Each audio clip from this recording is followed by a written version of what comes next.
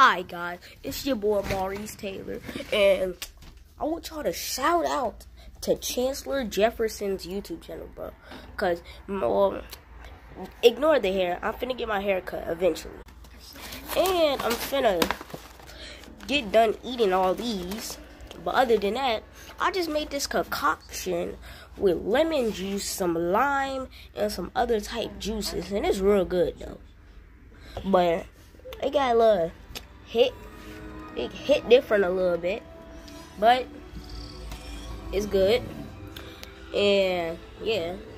So i might go back to eating these or go back to making adding more stuff. It, it this just hit different